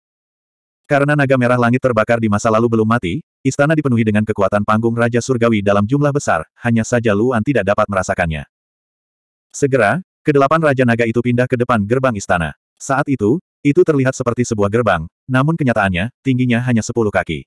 Setelah Raja Naga Langit terbakar dengan tidak sabar membuka pintu, pemandangan di dalam istana segera muncul di garis pandangnya. Sebanyak empat es menopang beban seluruh istana. Bagian dalam istana tingginya sekitar 3.000 kaki dan panjang 5.000 kaki. Itu sangat kecil bahkan untuk Megalosaurus kelas 6 biasa, apalagi Raja Surgawi. Ketika delapan Raja Naga memandangi istana sempit ini, mereka berpikir tentang bagaimana salah satu dari empat naga langit, naga merah langit terbakar, sebenarnya telah tinggal di istana ini selama 13.000 tahun. Hati mereka sangat berat dan tersiksa, dan bahkan mata Raja Naga Langit terbakar dan Raja Naga Merah pun memerah. Ada juga ukiran Megalosaurus di empat dinding bagian dalam. Di setiap dinding, ada beberapa Megalosaurus yang sedang berdebat dan bermain. Pada empat es besar itu juga terdapat jalinan warna merah dan hijau. Segera, apakah itu delapan Raja Naga atau yang lainnya, tatapan mereka semua terfokus pada empat es. Sepertinya ada perasaan ketuhanan yang tersembunyi di dalam, tetapi perasaan ketuhanan ini sudah sangat kabur. Mereka hanya bisa merasakan aura pembunuh, seolah-olah itu adalah perang. Luan juga melihat keempat es, berpikir sejenak dan berkata, dulu, warna keempat es ini jauh lebih gelap daripada sekarang. Mungkin karena kematian naga merah langit terbakar dan runtuhnya istana, warna es menjadi begitu terang. Setelah Luan mengatakan itu, dua Raja Naga menoleh untuk melihat Luan dan mengangguk sedikit. Tapi itu hanya dua Raja Naga, enam Raja Naga lainnya semuanya berdiri di tempat yang sama, ekspresi mereka sangat berat dan tidak bergerak. Setelah datang ke sini, mereka akhirnya memastikan bahwa Luan tidak berbohong. Orang-orang dari ras lain tidak dapat merasakannya, tetapi bagi para naga, mereka dapat dengan jelas merasakan aura naga langit yang tertinggal di tempat di mana naga langit pernah tinggal. Bahkan jika istananya runtuh bertahun-tahun yang lalu, aura Raja Naga Langit terbakar masih ada di atas es dan tidak menghilang untuk waktu yang lama. Aura ini, adalah sesuatu yang tidak bisa ditiru oleh Megalosaurus. Itu benar-benar naga merah langit terbakar. Raja Naga Langit terbakar dan Raja Naga Merah berdiri di depan semua orang, keduanya mengangkat tangan untuk menyeka air mata di wajah mereka. Setelah menarik napas dalam-dalam, mereka menoleh untuk melihat keenam Raja Naga. Raja Naga Langit terbakar dan Raja Naga Merah tidak perlu mengatakan apa pun, keenam Raja Naga semuanya mengerti apa yang mereka maksud. Setelah itu, delapan Raja Naga tiba-tiba terbang keluar istana. Yang lain agak bingung dan juga mengikuti mereka keluar istana. Setelah delapan Raja Naga terbang keluar dari istana, mereka segera terbang keluar dari celah Gletser dan dengan cepat berubah kembali ke bentuk aslinya. Gemuruh. Delapan Raja Naga, delapan binatang aneh panggung Raja Surgawi tingkat puncak, delapan tubuh yang panjangnya 50 ribu kaki, langsung muncul di dataran es ini. Dan setelah delapan Raja Naga melepaskan kekuatan dan aura menakutkan mereka keluar, langit dan bumi berubah warna. Delapan Raja Naga, delapan jenis kekuatan bertabrakan di langit. Dengan istana sebagai pusatnya, delapan Raja Naga mengangkat kepala mereka satu demi satu pada ketinggian 20 ribu sang di langit. Di saat yang sama, mereka melepaskan kekuatan mereka dengan sekuat tenaga, menggunakan kekuatan dan suara terbesar mereka untuk mengeluarkan auman naga yang paling keras. Mengaum. Mengaum. Aum. Raungan Raja Naga tak henti-hentinya, kekuatan mengerikan yang muncul bersamaan dengan suara mereka membubung ke langit, menyebabkan seluruh langit berubah. Langit tiba-tiba menjadi gelap, seolah siang langsung berubah menjadi malam. Hanya tubuh delapan Raja Naga yang memancarkan cahaya kuat, serta cahaya energi besar yang berkumpul di tengahnya, membentuk pemandangan yang sangat unik dan indah di langit. Naga kesedihan. Guru abadi mengangkat kepalanya untuk melihat delapan megalosaurus di langit dan berkata dengan suara berat.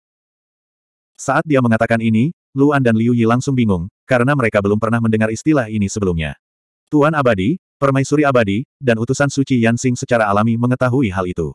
Guru Abadi memandang Luan dan Liu Yi dan menjelaskan, ini adalah cara unik para naga dalam berkabung dan mempersembahkan korban. Setelah Megalosaurus mati, semua Megalosaurus yang dekat dengan Megalosaurus akan berkumpul dan mengeluarkan suara gemuruh. Meskipun itu adalah Megalosaurus yang tidak memiliki teman, mereka yang mengetahuinya juga akan datang dan mengeluarkan kesedihan naga. Luan dan Liu Yi tercerahkan setelah mendengar ini, mereka mengangkat kepala untuk melihat delapan sosok di langit lagi. Tak hanya cahayanya yang bersinar terang, suaranya juga syarat harapan selain duka, seolah mengirimkan berkah terbaik bagi jiwa yang telah meninggal. Delapan Raja Naga mengeluarkan kesedihan naga pada saat yang sama, hanya Kaisar Megalosaurus dan empat naga langit yang bisa menahannya. Kesedihan naga berlangsung sangat lama, sebelum delapan Raja Naga berubah kembali menjadi bentuk manusia dan tiba di luar gerbang istana. Utusan suci Yansing telah sepenuhnya memperbaiki istana, sementara delapan Raja Naga menggunakan kekuatan mereka sendiri untuk memperkuat istana dan menghilangkan retakan. Tuan Abadi. Raja Naga Merah membuka mulutnya dan berkata kepada Guru Abadi dengan suara yang sangat berat, kami tidak ingin menyentuh istana ini, tapi ini adalah sisa-sisa naga langit. Sebagai naga merah pembakaran langit, kamu datang ke tempat yang sangat dingin dan meringkuk di istana kecil untuk melindungi tulang Kaisar Naga. Saya ingin melindungi ladang es ini dan membiarkan para naga datang dan mempersembahkan korban. Meskipun ladang esnya sangat luas, pada awalnya tempat ini adalah tempat yang terpencil, dan tidak ada binatang aneh yang tinggal di sini. Master Abadi juga dipenuhi dengan rasa hormat terhadap naga merah pembakaran langit, yang bersedia menyendiri di kedalaman padang es selama sepuluh ribu tahun, dan mengangguk. Baiklah. Raja Naga Pembakaran Langit dan Raja Naga Merah berjalan ke depan gerbang istana, dan mereka berdua secara pribadi dan hati-hati menutup gerbang istana, seolah-olah mereka takut mengganggu istirahat naga langit. Bahkan Raja Naga Pembakaran Langit, yang selalu pemarah, sangat berhati-hati, dan kakinya tidak mengeluarkan suara saat menginjak tanah. Bang! Gerbang istana ditutup, dan delapan Raja Naga membungkuk dalam-dalam ke istana, sebelum berbalik menghadap lima orang itu lagi, dan akhirnya menatap Luan. Terima kasih, Tuan Muda Lu, karena mengizinkan kami melihat sisa-sisa naga langit. Delapan Raja Naga berkata, kami mohon Tuan Muda Lu membawa kami ke tempat berikutnya. Luan tentu saja tidak akan menolak, dan mengangguk. Semua orang pindah dan menghilang dari lapangan es. 3658. Di wilayah Laut Utara kedua, di atas lautan tak berujung. Fluktuasi spasial muncul, dan 13 orang keluar dari udara. Mereka adalah tiga Raja Surgawi, delapan Raja Naga, Luan, dan Liu Yi. Setelah Luan terpaksa mendapatkan tulang naga kekaisaran yang disimpan oleh naga merah pembakar langit, dia segera berangkat untuk mencari keberadaan tiga tulang naga kekaisaran lainnya. Mungkin karena Luan ditakdirkan dengan tulang naga kekaisaran ini. Dia telah mendengar dari aliansi payung di wilayah Laut Utara kedua bahwa sebuah istana dengan ukiran berbentuk naga telah muncul di lautan. Secara umum, memiliki ukiran berbentuk naga bukanlah masalah besar. Namun, masalahnya istana ini terletak di lautan, dan hanya ada ukiran naga. Ini patut diperhatikan. Luan tidak akan menyerah dalam mengamati. Oleh karena itu, dia, yang baru saja menjadi guru surgawi tingkat tujuh, pergi ke laut bersama Yao, yang sudah menjadi guru surgawi tingkat tujuh yang luar biasa, untuk memperjuangkan kepemilikan istana dengan ratusan orang. Luan juga memiliki ingatan yang mendalam tentang kejadian saat itu. Jika bukan karena Yao yang membantunya, dia tidak akan bisa mendekati istana di bawah kewaspadaan lebih dari 100 Master Surgawi tingkat 7 dalam 10 tim, apalagi mendapatkan Kaisar Tulang Naga. Itu juga karena bantuan Yao sehingga proses mendapatkan tulang naga kekaisaran kedua tidak begitu menyiksa seperti di wilayah Laut Utara Ekstrim. Jauh lebih mudah. Luan sangat mengingat tempat itu. Dia memimpin semua orang terbang melintasi lautan tak berujung. Setelah 15 menit penuh, mereka akhirnya berhenti. Luan berbalik di udara dan berkata kepada semua orang di belakangnya, istana itu muncul di lautan saat itu. Namun, saya akan mengatakan ini dulu. Saya tidak dapat menjamin bahwa saya dapat menemukannya. Begitu dia mengatakan ini, Raja Naga Probek Langit dan Raja Naga Langit menjadi cemas. Mereka langsung bertanya, kenapa? Luan memandang kedua Raja Naga dan menjelaskan, setelah aku meninggalkan istana saat itu, ia melepaskan kekuatannya dan membunuh seratus orang di luar istana. Setelah kekacauan berakhir, istana pun menghilang. Saya kira kapal itu tenggelam ke dasar laut, tapi saya tidak yakin apa yang terjadi. Luan tidak berbohong. Memang itulah yang terjadi saat itu. Yao telah memberitahunya bahwa empat naga langit yang diukir di atas istana dan lusinan megalosaurus yang diukir di sekitar istana terbang seolah-olah mereka hidup dan membunuh semua orang. Setelah kekacauan tersebut, istana tersebut benar-benar lenyap, hanya menyisakan Luan di lokasi asli istana. Pada saat ini, Liu Yi juga berkata, saya tahu bahwa saya harus menjelaskan masalah tulang naga kekaisaran kepada naga cepat atau lambat, jadi untuk mengumpulkan bukti, kecuali Laut Utara yang ekstrim, saya telah mengirim orang ke cari dan jaga tiga reruntuhan lainnya. Dari ketiga reruntuhan tersebut, hanya istana ini yang tidak ditemukan karena lautnya terlalu dalam. Bahkan guru surgawi tingkat sembilan tidak akan mampu mencapai dasar lautan. Memang benar demikian. Liu Yi telah mengirim orang untuk mencari istana, tapi dia tidak menyangka laut di sini begitu dalam. Hati kedelapan Raja Naga menegang saat mereka melihat ke arah Guru Abadi, Permaisuri Abadi, dan utusan suci Yansing. Ini karena guru surgawi tingkat sembilan biasa dapat mencapai ketinggian hingga 90 ribu kaki atau bahkan 100 ribu kaki di lautan. Namun persepsi mereka bisa terus menyelam hingga kedalaman tertentu, mencapai hingga 11 ribu hingga 12 ribu kaki. Bahkan delapan Raja Naga, yang sangat akrab dengan air, hanya bisa menyelam hingga kedalaman 12 ribu kaki. Akan sangat sulit bagi mereka untuk mencapai dasar lautan. Jangan khawatir, kamu pasti bisa mencapai dasar lautan. Utusan suci Yansing sangat percaya diri. Dia berkata kepada delapan Raja Naga, ikuti aku. Utusan suci Yansing segera menggunakan kekuatannya untuk melindungi delapan Raja Naga, Luan, dan Liu Yi. Tuan Abadi dan Permaisuri Abadi secara alami tidak membutuhkan bantuan apa pun. Mereka segera bergerak dan bergegas ke laut dari langit. Ledakan. Tiga belas dari mereka menyelam dengan cepat. Di bawah perlindungan kekuatan alam Raja Surgawi, ketiga belas dari mereka mencapai dasar lautan dalam sekejap. Mereka masih menyelam dengan cepat hingga mencapai kedalaman 22.000 kaki. Itu benar, lautan memiliki kedalaman 22.000 kaki. Itu dianggap sangat dalam bahkan di sembilan lautan. Delapan Raja Naga memiliki jangkauan pergerakan sekitar 10.000 kaki di bawah perlindungan utusan suci Yansing. Mereka berubah menjadi bentuk manusia dan segera melepaskan kekuatan mereka untuk menyebarkan cahaya lebih jauh. Namun, mereka tetap tidak melihat bangunan apa pun. Hanya ada pasir dan tumbuhan di dasar lautan. Tidak ada tanda-tanda istana sama sekali. Indra mereka sepenuhnya dibatasi oleh kekuatan utusan suci Yansing. Sekalipun mereka tidak dibatasi, mereka tidak akan bisa merasakan kedalaman lautan yang begitu jauh.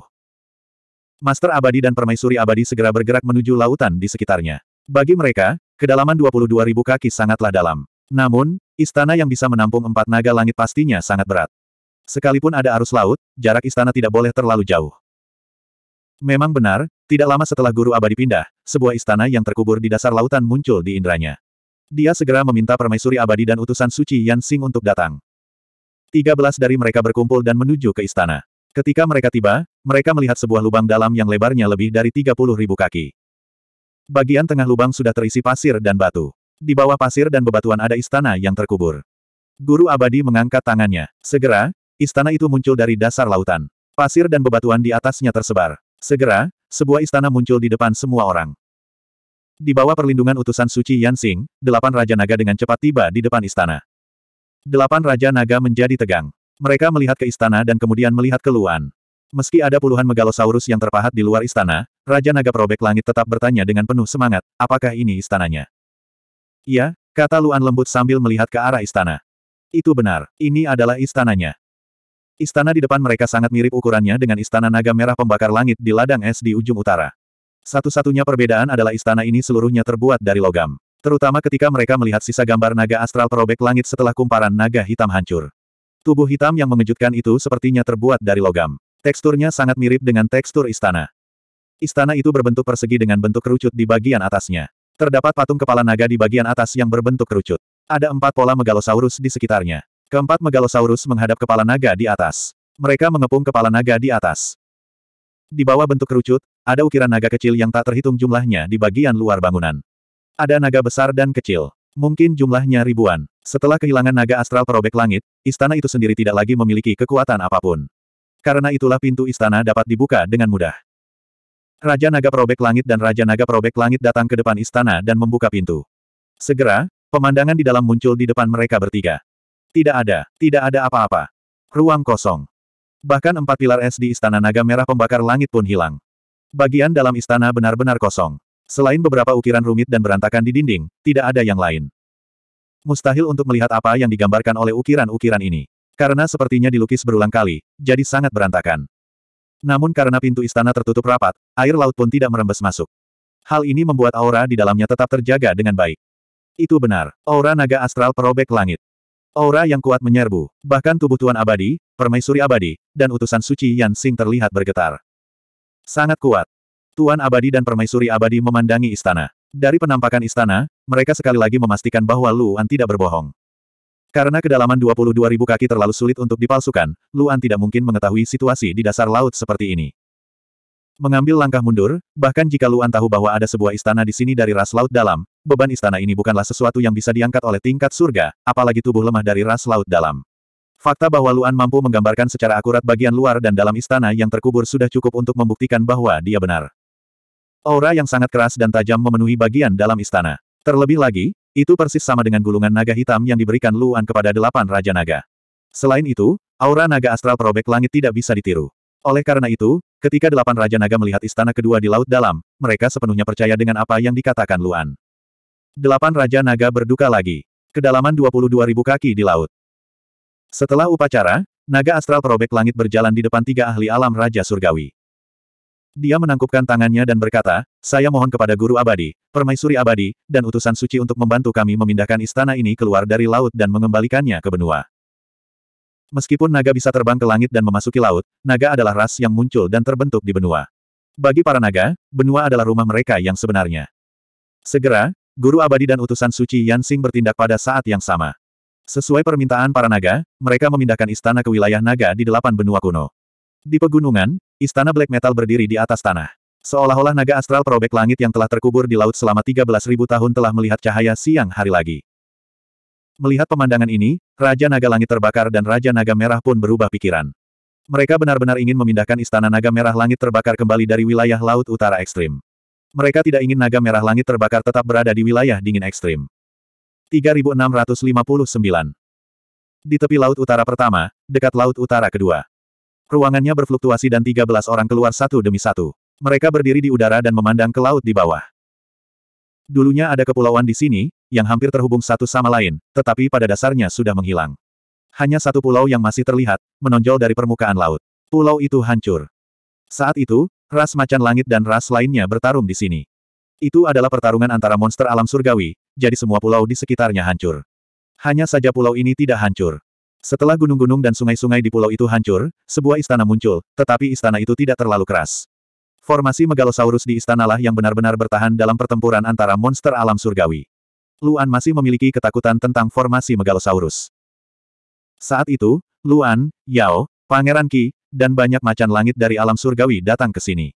Luan secara pribadi turun untuk mengaktifkan formasi Megalosaurus. Luan berhasil mengaktifkan formasi Megalosaurus, dan dua Megalosaurus muncul di formasi Megalosaurus.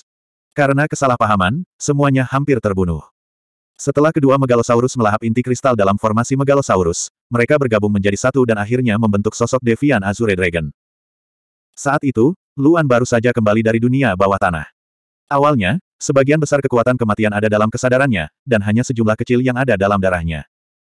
Setelah Luan memasuki dunia bawah tanah kali ini, dia telah sepenuhnya mengaktifkan kekuatan kematian di tubuhnya dan mengintegrasikannya ke dalam darahnya untuk menjadi roda takdir yang sebenarnya. Karena itu, naga Azure penentang hampir membunuh Luan ketika merasakan kekuatan kematian di tubuhnya. Pada akhirnya, naga Azure penentang memberi Luan bagian belakang tulang Megalosaurus.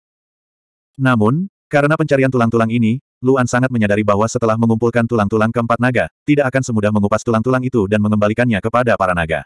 Sebaliknya, ia akan meminjam tubuhnya untuk membangkitkan Kaisar Megalosaurus. Seolah-olah, dua Megalosaurus telah bergabung menjadi satu untuk membentuk Azure Dragon yang menantang surga. Ada juga hantu Dewa Naga yang diajarkan oleh Naga Azure penentang surga kepadanya. Setelah mengumpulkan semua tulang naga raja, dia bisa meminjam kekuatan Raja Megalosaurus untuk sementara. Sejauh ini, Luan belum pernah menggunakannya sekalipun. Sebelum mendapatkan tulang naga terakhir, Luan belum menggunakannya karena dia sudah menyempurnakan tiga tulang naga pertama, jadi dia tidak bisa menggunakannya. Setelah mendapatkan potongan terakhir dari tulang naga kekaisaran, Luan menyadari bahwa mustahil baginya untuk memurnikan tulang naga kekaisaran dengan kekuatannya saat ini. Bagian yang dia sempurnakan hanyalah permukaannya saja. Dia khawatir penggunaan kekuatan ini akan mendorong Kaisar Megalosaurus menggunakan tubuhnya untuk bangkit kembali. Sejauh ini, dia belum pernah menggunakannya sekalipun. Tidak. Faktanya, dia pernah menggunakannya sekali, saat dia bertarung melawan pemimpin Sekte Api Karma, Juenian. Megalosaurus emas yang muncul dari udara tipis adalah hantu Dewa Naga. Di sinilah naga Azure penentang surga berada, kata Luan kepada delapan Raja Naga. Istana telah hancur, hanya formasi Megalosaurus yang tersisa. Tiga Raja Surgawi dan delapan Raja Naga melihat formasi Megalosaurus. Formasi Megalosaurus jauh lebih besar dibandingkan dua istana sebelumnya. Bentuknya persegi dan panjang serta lebarnya beberapa ribu kaki. Terdapat dua badan Megalosaurus yang saling terkait dalam formasi Megalosaurus. Tentu saja, hanya tulang naga yang tersisa. Delapan Raja Naga dengan cepat turun dari langit dan mendarat di formasi Megalosaurus. Naga Azure penentang surga telah mati. Formasi Megalosaurus ini secara alami tidak berdaya. Namun, masih ada sejumlah besar aura naga Azure penentang langit di tulang naga ini. Itu sudah cukup untuk membuktikan keberadaan naga Azure penentang surga. Delapan Raja Naga sekali lagi melepaskan kesedihan naga. Formasi Megalosaurus ini berada di atas lautan. Lingkungannya jauh lebih baik dibandingkan dua istana sebelumnya. Raja Naga Penentang Langit dan Raja Naga Biru Langit tidak berencana memindahkan istana ini. Mereka ingin membiarkan sisa-sisa naga Azure Penentang Langit beristirahat di sini selamanya. Setelah delapan Raja Naga memberi penghormatan, mereka kembali ke langit. Mereka telah melihat tiga dari empat naga langit. Hanya ada satu yang tersisa. Itu adalah pemimpin dari empat naga langit, delapan naga emas. Delapan Raja Naga berbicara lagi. Namun, pandangan mereka telah berubah. Bahkan suara mereka pun bergetar. Mereka menangkupkan tangan dan berkata, Tuan Muda Lu, tolong bawa kami ke sisa-sisa delapan naga emas. Luan mengangguk sedikit dan berkata, itu di Samudra Selatan yang ekstrim. Semuanya, tolong ikuti saya. Dengan itu, Luan mengubah koordinat spasial di depan mereka. Utusan Sage Yansing memperkuat koordinat spasial sejauh yang bisa dilewati oleh Raja Surgawi. Semua orang menghilang dari laut lagi. Tanda pisah tanda pisah tanda pisah. Tanda pisah tanda pisah tanda pisah. Lautan selatan yang ekstrim. Gemuruh. Begitu Luan dan Liu Yi muncul di langit, mereka segera mendengar suara gemuruh yang memekakkan telinga. Raungan ini tidak datang dari budidaya atau pertempuran. Itu murni suara ombak. Tinggi ombaknya lebih dari 2000 kaki. Mereka mengamuk dengan gila-gilaan. 13 orang yang berjalan keluar satu demi satu memandangi lautan yang menderu-deru. Hati mereka langsung menjadi berat. Apakah kekacauan di Samudra Selatan yang ekstrim telah mencapai tingkat seperti itu? Meskipun mereka telah mendengarnya, klan Semoku dan Yansing belum pernah datang ke sini sejak perang dimulai. Mereka hanya mendengarnya dari beberapa klan yang awalnya tinggal di Samudra Selatan yang ekstrim. Kini, wilayah sembilan lautan sering mengalami gempa bumi. Gempa bumi di Samudra Selatan ekstrim sangat hebat. Namun, bahkan ketiga Raja Surgawi tidak menyangka akan mencapai tingkat seperti itu. Kita harus tahu bahwa Samudra Selatan yang ekstrim pada umumnya sangat dalam. Mampu mengguncang lautan dalam sedemikian rupa sudah cukup untuk menunjukkan betapa dahsyat dan luasnya gempa tersebut. Luan ingat dengan jelas bahwa alasan dia datang ke Samudra Selatan Ekstrim untuk mencari tulang naga terakhir adalah karena gempa bumi yang belum pernah terjadi sebelumnya di Samudra Selatan Ekstrim. Selama ini, Luan dan orang-orang di sekitarnya berspekulasi bahwa tulang naga terakhir seharusnya berada di Laut Selatan yang ekstrim. Kalau tidak, mereka pasti sudah mendengarnya jika itu terjadi di empat Samudra Selatan. Karena itu, Luan dan Pangeran Qi memasuki laut dalam untuk mencari tulang naga terakhir. Luan, sebaliknya, mengandalkan indera dari tiga bagian tulang naga kekaisaran di tubuhnya untuk berhasil menemukan tulang naga terakhir. Namun, pada saat itu, Luan mengira dia telah menyempurnakan garis keturunan tulang naga kekaisaran. Akibatnya, dia menjadi sangat ceroboh. Dia tidak memikirkan mengapa menyempurnakan garis keturunan akan menyebabkan masalah pada indranya. Dia hampir dihidupkan kembali oleh orang lain. Saat itu, Pangeran Ki dan klan hantu Neter telah menemukan istana bawah air bersama-sama. Selanjutnya, Pangeran Ki telah terlibat dalam pertempuran hebat dengan 12 ahli alam surgawi klan hantu Neter. Luan, yang merupakan guru surgawi tingkat 8 pada saat itu, dengan cepat pingsan. Meskipun dia telah dilindungi oleh bulu Pangeran Ki, kecepatan seorang guru surgawi tingkat 9 masih tak tertahankan. Belakangan, Pangeran Ki memberitahunya bahwa tubuhnya telah memancarkan cahaya kemasan yang sangat menyilaukan dan sangat besar, yang beresonansi dengan cahaya kemasan yang dipancarkan dari istana bawah air.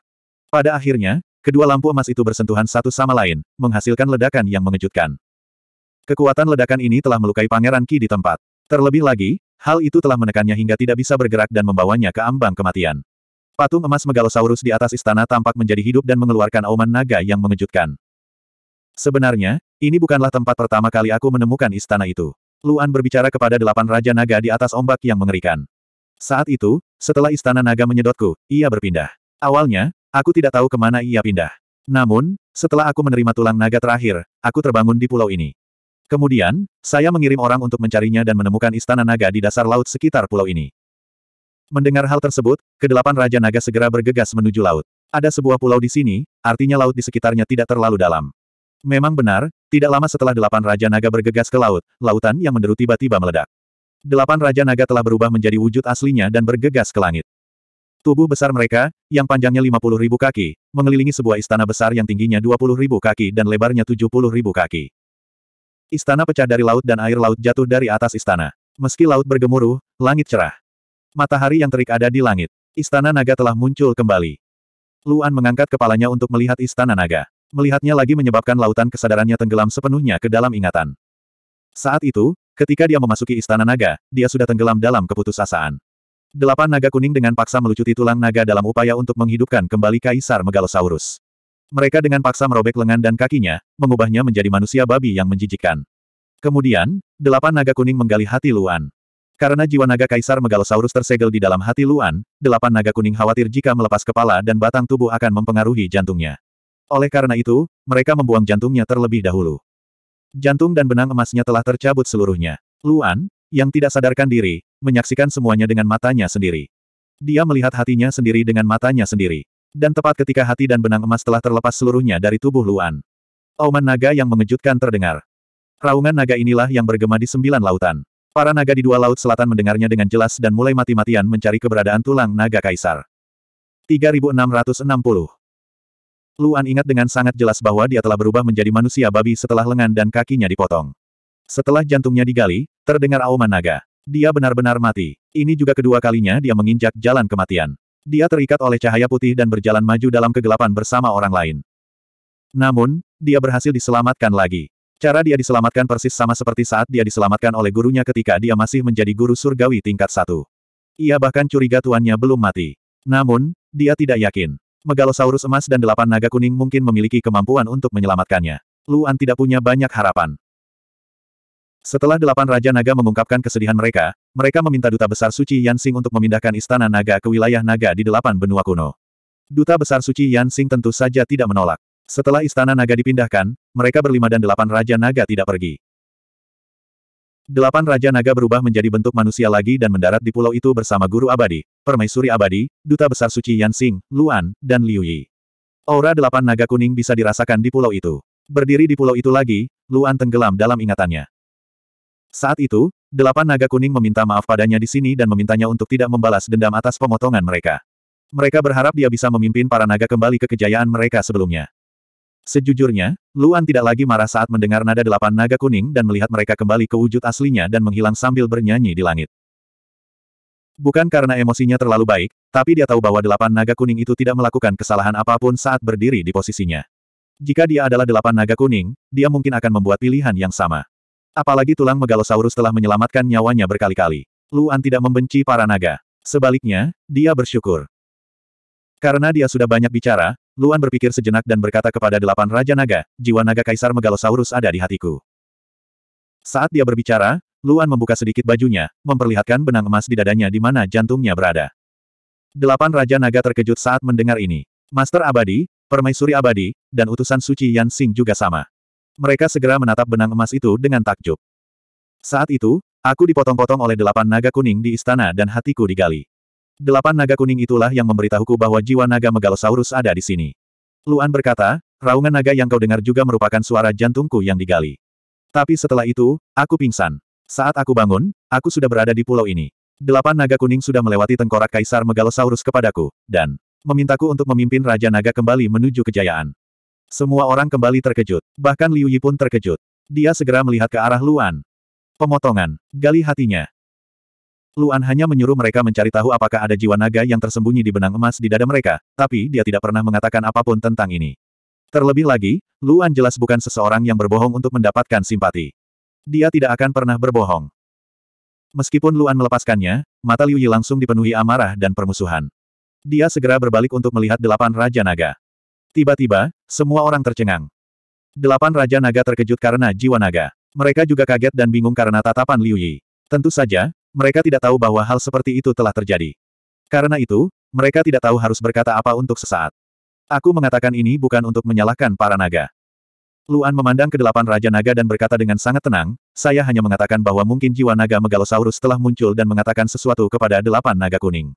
Jika keempat bagian tulang naga dapat dibangkitkan, jiwa naga telah muncul. Tidak ada alasan mengapa Kaisar Megalosaurus tidak dapat dibangkitkan. Delapan naga kuning memberiku tengkorak itu, dan aku terlahir kembali. Benang emasnya masih ada. Artinya Kaisar Megalosaurus dan delapan naga kuning telah memiliku. Maksud saya adalah, saya harap Anda dapat mempercayai keputusan Kaisar Megalosaurus dan delapan naga kuning. Jangan pikirkan lagi tulang naga dan jiwa naga di tubuhku. Gelombang besar di lautan berangsur-angsur mereda, seolah gempa pun berangsur-angsur berhenti. Saat ombak besar melemah, suaranya secara alami menjadi lebih lembut. Selama proses tersebut, tidak satu pun dari 13 orang yang berbicara sampai permukaan laut benar-benar tenang. Seluruh dunia terdiam. Akhirnya, delapan Raja Naga berbicara. Suara mereka sangat pelan, seolah-olah mereka telah kehilangan seluruh kekuatannya. Mereka bertanya pada Luan, mengapa kamu tidak mengatakannya saat itu? Saya benar-benar tidak berani. Luan tersenyum tak berdaya dan berkata, aku berkata bahwa delapan naga kuning ingin aku memimpin naga untuk bangkit kembali, tetapi naga masih mencoba membunuhku. Jika aku memberitahu mereka tentang empat tulang naga, dengan kekuatan dan identitasku saat itu, aku tidak akan bisa melindungi diriku sendiri. Itu sebabnya saya tidak berani mengatakannya. Delapan Raja Naga menarik napas dalam-dalam. Setelah beberapa tarikan napas, mereka berkata dengan sangat serius, Guru Abadi pernah memberitahu kami bahwa gelar Raja Naga sebenarnya hanya memenuhi syarat untuk dipegang oleh ahli alam Raja Surgawi di dalam naga. Sebelumnya, saya tidak mau menyerahkannya. Tapi mulai hari ini dan seterusnya, aku bukan lagi Raja Naga. Aku tidak bisa membiarkan para naga mundur bersamaku. Begitu dia mengatakan itu, ketujuh Raja Naga di belakangnya gemetar dan memandang ke delapan Raja Naga dengan kaget. Mulai hari ini dan seterusnya, aku akan kembali ke nama asliku. Kedelapan Raja Naga menoleh ke arah Luan dan berkata dengan sangat serius, dan aku akan memimpin garis keturunanku untuk berjanji setia kepada Tuan Muda Lu dan mendengarkan perintah Tuan Muda Lu. Begitu dia mengatakan itu, tubuh semua orang gemetar lagi. Berjanji setia pada Luan. Bahkan Guru Abadi, Permaisuri Abadi, dan utusan suci Yansing memandang ke delapan Raja Naga dengan kaget. Mereka tidak pernah mengira delapan Raja Naga akan mengucapkan kata-kata seperti itu. Luan juga sangat terkejut. Dia tidak pernah menyangka bahwa delapan Raja Naga akan mengalami perubahan sikap yang begitu besar. Dia tidak bereaksi tepat waktu dan berkata, Delapan Raja Naga, kamu pasti bercanda. Tidak, aku sangat serius. Delapan Raja Naga berkata, Delapan Naga Kuning meminta Tuan Muda Lu untuk memimpin para naga untuk bangkit kembali. Hanya dengan begitu mereka dapat benar-benar memimpin. Tujuh Raja Naga lainnya memandang ke delapan Raja Naga. Mata mereka berubah dari keterkejutan menjadi rumit, dan akhirnya menjadi jernih. Raja Naga Kuning juga memandang Luan dan berkata, karena ini adalah pilihan Kaisar Megalosaurus dan delapan Naga Kuning, saya tidak punya alasan untuk tidak mematuhinya. Aku dan garis keturunanku juga bersedia mendengarkan perintah Tuan Muda Lu. Raja Naga kedua berbicara, menyebabkan hati semua orang bergetar lagi. Setelah delapan Raja Naga dan Raja Naga Kuning berbicara, enam Raja Naga lainnya saling memandang.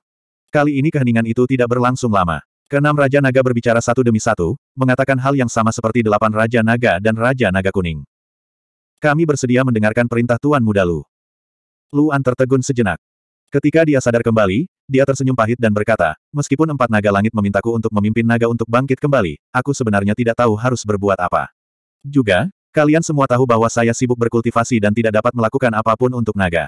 Saya tidak punya kekuatan untuk melakukan itu sekarang. Delapan Raja Naga, aku akan menarik kembali apa yang kamu katakan saat ini.